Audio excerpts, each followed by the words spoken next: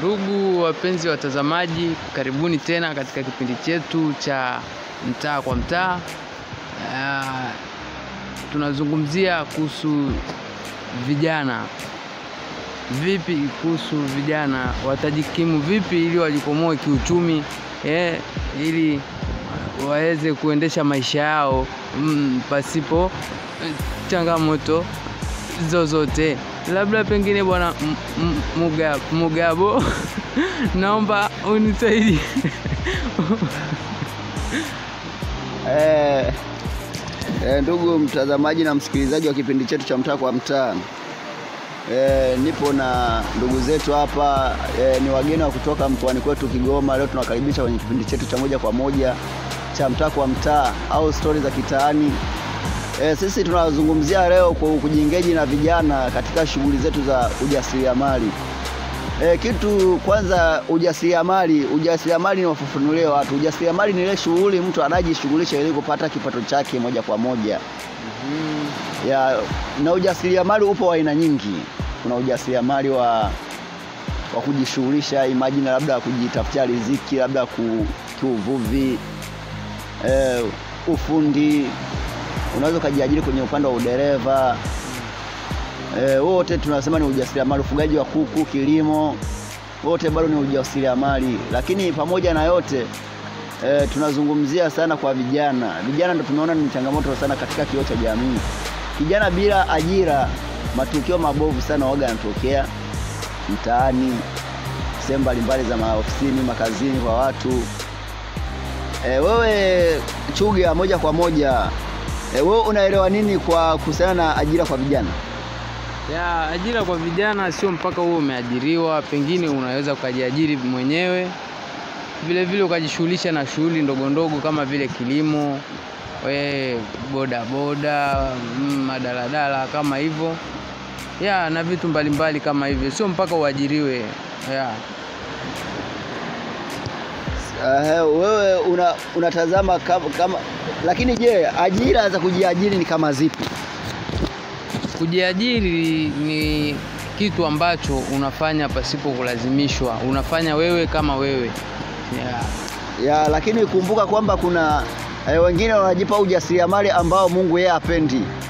Eh, mfano ndio kuna dada zetu hawa ikifika kajioni wao eh, wanaenda kwenye ajira zao zile ambazo wanazijua kabisa ni ajira zao endelevu, lakini si cha kuwashauri ndani ya zile ajira waje wachane nazo, zile sio ajira nzuri sana. Eh, walio wengi tunaonaga mitaa mitaa kwa mitaa, lakini pamoja na yote watafute ajira za kujiajiri za kudumu na zinazowapa heshima mtaani na baadhi ya majirani. Pamoja na hawa, kuna wanandugu sasa hapa wa kutoka wilaya ya kwangu mimi nakotoka au wilaya naokotoka Sande Mjeda Rinex, wilaya Kasulu. Wao wanaelewa nini kuhusiana na ujasiriamali? Blaza, nini maana ya ujasiriamali? Jamani, sisi tunashukuru kwanza, umetupokea vizuri ndani ya Dar es Salaam. Hongereni sana kwa kutupokea vizuri jamani. Asante sana, asante sana. Yaani sisi kwa kweli tumefurahi sana, tumekuja huku umetuonyesha mazingira, na pia tunapenda tunapenda kuwashukuru sana. Mwende na moyo huo jamani, mnapokuwa mnaona watu wa kwenu, mnapowapokea kama vile unajisikia vizuri sana. Eh, sisi hatuna nyongeza, tunashukuru sana kwa kutupokea. Yeah. unazungumzia vipi kuhusu ajira kwa vijana? Ajira kwa kweli, sisi tunamshukuru Mungu kwa sasa hivi, vijana sasa hivi wamejiajiri, sio mpaka uajiriwe. Sasa hivi kuna ajira nyingi, unaweza kuendesha tabajaji bajaji, ukaendesha bodaboda, hizo zote ni ajira, sio mpaka uajiriwe serikalini. Unajua, kwa sasa hivi vijana wengi kwa sasa hivi wanaona kwamba kujiajiri na kuajiriwa, yani wanaona bora kujia- kujiajiri au kuajiriwa, kwa sababu hapo unashindwa kuelewa kitu kimoja. Wewe unazungumzia vipi kuhusu hili swala? Mimi kwa kweli ninachokizungumzia kwa hili, naona kujiajiri sio mpaka uajiriwe serikalini, yaani we mwenyewe ni kujiajiri tu, ukafanya kazi, kuna kazi nyingi Eh. kufanya, sio mpaka uajiriwe serikalini. Sasa mimi kuna swali moja kwa mtu wa nyumbani. Ndio Sasa none wewe mugabo ibi bikorwa kuiajiri kwiajiri uronkinta amahera ili mradi kwamba amahitaji yawe ugende uya benefiti kwa uyo muda mwafaka make bamo turabona n'abaranzi abariba abandi moja kwa moja. Teme uhura bakore amagambo ya matari ya sore wewe abantu bankabo bashaurike Yo abantu bakore ibyo ujumba bagomba. Yani yagira ni nyindo kwa mukaguza na n'amazi uraronka churonka sio mpako mazi yo ku- ku- kuiba. Yani kuiba ni kwa hiyo yani kwa kweli wamuje kuyaje kuguza na mayoba zote ni ajira sio mpaka uajiriwe serikalini. Sawa wewe wewe ubabwinta abantu bikasiku ya watu bika sana nabo kula jamaa twende ni Dar es Salaam adupambana Ya, tukushukuru sana mkubwa kwa kufika katika kipindi chetu, na tunashukuru sana, karibu sana, na tunaomba uwepo wako, na tunashukuru kwa uwepo wako. Lakini asante sana kwa kunipokea wazee ya, naomba kama una kidogo la kuchangia, ndugu Gabi. E, mimi hapa kuchangia hapo mengi sana tu e, ila pamoja na yote kwa sisi vijana inatakiwa kujiingeji sana na masuala ya kupambana. Sisi tuna, kwenye kipindi chetu hiki tunaelimisha vijana kujiajiri, kwa sababu tumeona vijana ndo kioo cha jamii. Vijana ndo cha, vijana ndo nguzo, ndo nguzo za familia kwa miaka ijayo. E, moja kwa moja tumeshaona kwamba ajira Eh, ajira ndio imekusha kuwa changamoto kwa sababu ya watu wanapenda kazi za kuajiriwa zile zenye kurelax, zile kazi ni zenye starehe, kazi ambazo moja kwa moja zinapenda eh, Ndio. mambo yani masuala yale ambayo muda mwingine mtu akiangalia kwamba ni masuala ambayo wanapenda ile kupendeza, kupata kachodo nini, lakini asubuhi Je, kwa wewe unazungumzia mtazamo vipi kwa watoto wa kike? Maana watoto wa kike nao ndo tunaangalia changamoto yao bado ni kubwa, bado hatujajua hatima yao ni nini eh, kwenye upande wa ajira. Ya, kwa upande wa watoto wa kike labda nizungumzie kwa kusema hivi. Sasa hivi ajira ni nyingi sana kwa watoto wa kike kuliko wanaume. Kwa kina mama sasa hivi wanajishughulisha na biashara mbalimbali kama vile miogo, kuna kuuza mboga, kuna mambo mengi ambayo mwanamke unaweza ukafanya, sio mpaka ufanye biashara ya kuuza mwili au labda ufanye biashara za kujiuza ili upate kipato. Hapana, biashara ni nyingi za kufanya, ila ni kujituma tu kwako.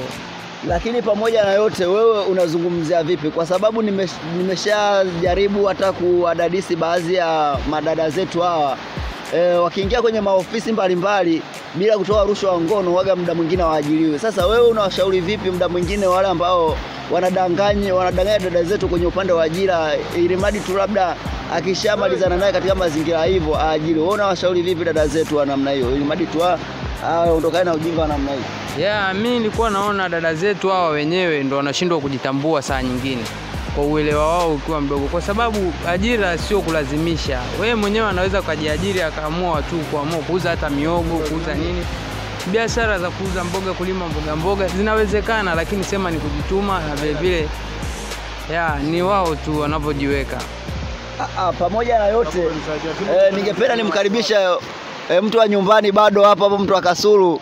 Yuko pale pembeni, vile sijasikia sauti yake. Eh, eh, rafiki yangu umutama eh, muvuge ngere utegeza aku- aga nimpoleka bage bagamwe batama. Nabasalimia mwake mwesi au mwidiwe mwesi. Kwa kweli ndugu yangu ambayo nizungumzia ile swala ni kweli.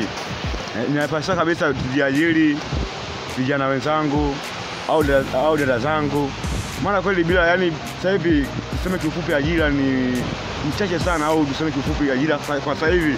Yani kuzipata yani niseme kama Mungu ameshuka yupo mawinguni kwa jamani, tujishughulishe na ufugaji, kulima mboga mboga, ufundi, sana kibao. Hizo zote ni kama ajira ambazo za kujiajiri. Ndugu zangu, mimi tunakuomba jamani, tujiajiri sana vijana wenzangu. Ya, nikushukuru sana mkuu mkubwa. Brother, ulikuwa na lolote la kuchangia labda?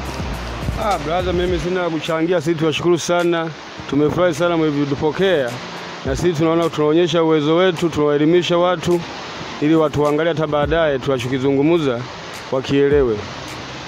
Ya, kwa kipindi chetu cha leo ningependa niwashukuru sana. Tungependa tuishie hapa kwa leo, ila tunaomba muendelee ku- kushirikiana nasi pamoja, tutashinda.